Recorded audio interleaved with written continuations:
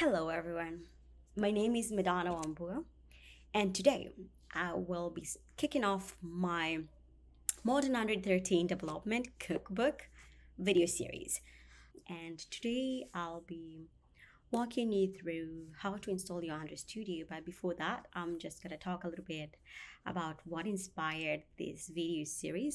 And mainly it's because in early January of 2022, I decided to yeah, write a book, the Modern Android 13 Development Cookbook. And the book took me a year plus month to complete. And the projects in the book are pretty just recipes. That's uh, around 70 recipes.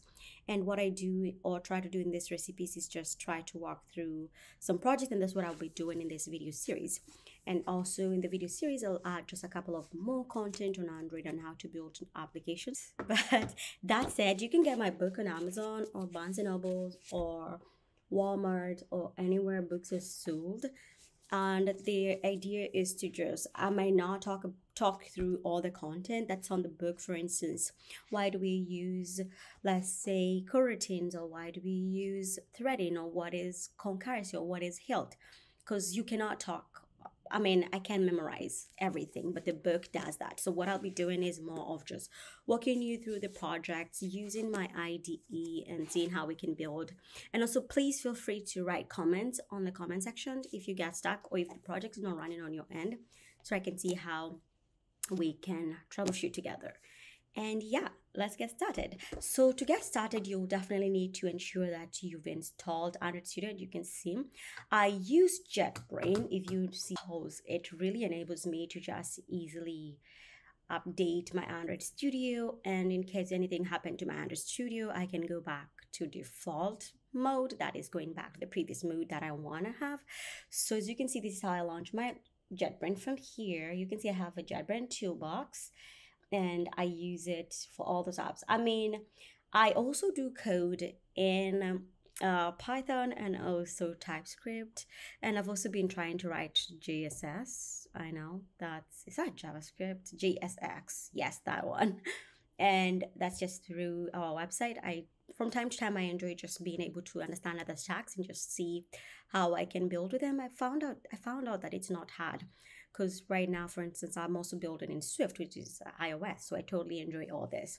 So if you want to use the JetBrain toolbox, you'll just come here and be able to download here. But what you need, if you're a new person who's never installed an Android Studio, you'll need to come here and you can say get the latest version. And as you can see here, you want to make sure that you get the Android Studio that's latest. And I see the latest right now is actually Hedgehog.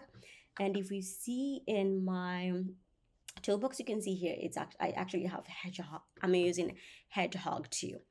Uh, spoiler, I'm also waiting for Impala because Impala is my favorite animal. I don't know why, but I, I'm hoping they release that. But that's the thing. Uh, you can um, install here. So I'm not going to do that because that's already installed on my end, but there's a lot of instructions on how you can install that. Now from here, let's say Android Studio, it's already open. so it's gonna show there that's already opened.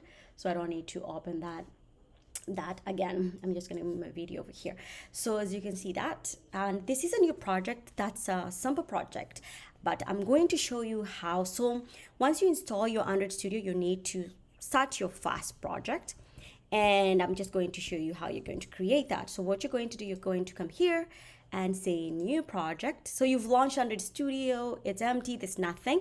You can click file, new, file, file, new project and then once you click the new project you can come here. Right now this is a compose activity. This is an empty view activity. This is a basic view activity. This is no activity.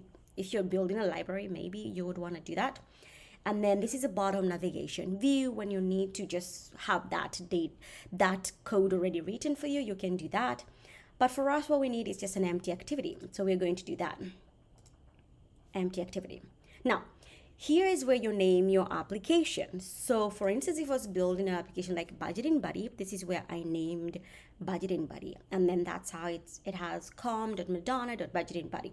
Now here we're going to name this application, let's say sample app. And the reason as to why I'm doing this is all the apps on my book, as I mentioned, are going to be similar, just we build in in a different way, maybe a different name, or sometimes we'll use the same name just for demo purposes for people who who are visual learners because I know sometimes other people don't enjoy books. Maybe it's also good to reference the book in terms of let's say you're trying to see how things works because I might not as I mentioned I might not cover why we use hilt, what is hilt in details. But you can find that all in the book. Now, I named my app sample app as you can see here. It has the package name com.madonna.sample app. This is where I'm saving it. That's the location, users, Madona Syombua, and then sample app. Now, the minimum SDK, this is just, it shows you the number of places where your device, uh, where that particular version is supported. Now, if we take API 24, as you can see here, we're able to support 96.3% of devices. That means Android phones. We have the Samsungs, we have the Motorola, we have I don't know if the HTC still exists, but I know we had we had the HTC and we have many of them that I might forgot. But we have I I know we have we still have Nokia and more. This is what it just means. It will be able to run on those devices. Now, if you go, let's say API 21, you see it's 99.6 device uh, percent of devices. Now, let's check if we build for API that for which is the latest. Mm, less than 1%. So you don't want to do this. You want to make sure that you build for you pick a minimum SDK that targets many devices so that at least your app can run. And I think, excuse me, I think API 24 is much better. So we are going to go with API 24. Now, this one here is just a recommended because it auto generates clean code for you in the get go and then you hit finish. When you hit finish, it's going to run on my other side, but this is what you'll have. I don't need to open the sample app that I created, but I was just showing you how to create an application or how to start a new application from scratch. Now, as you see, this is the same thing you'll have. You'll have a Kotlin plus Java package.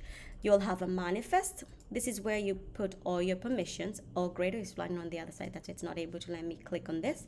But as you can see here, this is the application and it allows backup. It has data extraction rule. It has full backup content. And this is the app icon, which is the app icon where you launch your application. This is the icon people see.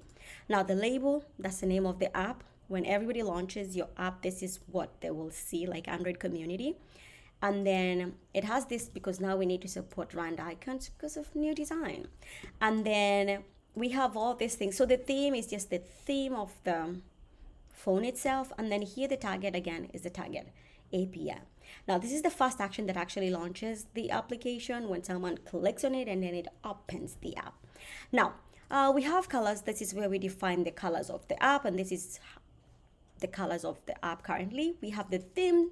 I will not talk about more, this more on other videos, so that's why I'm talking about them in this video.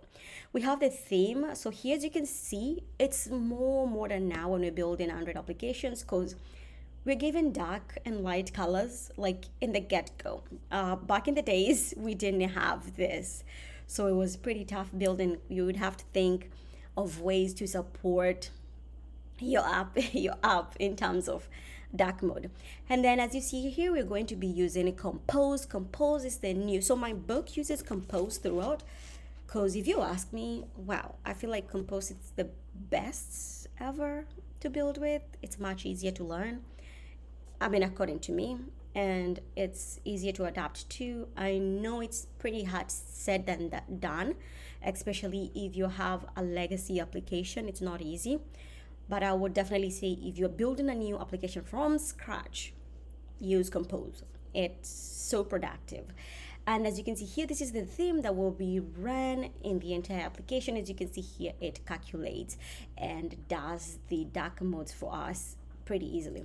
Now we have the type, which is typography, definitely for accessibility and also for ensuring that the application has the right typography when we are building. And then this is our main activity. So this is when we are going to launch this we can just change let's say so here here this is default. This is what google gave us. Like when you create an application you'll get this dummy code. You can remove all this and here we can change to something that you want. So the name here as you can see we are passing an android android. So here what we'll say is hello android. We can change this to actually say maybe hello android community. So we're not going to do a lot here. So this one will just print hello android community. Now for this one here it's used to preview. So this one if you want to run this in your particular if you want to run this just on the side this is how you're able to see what you're building. It makes it much easier for developers to just see the kind of work they're doing. But this is not running it on the emulator this is just showcasing it on a preview on the side of your emulator on the side of your IDE when you're building.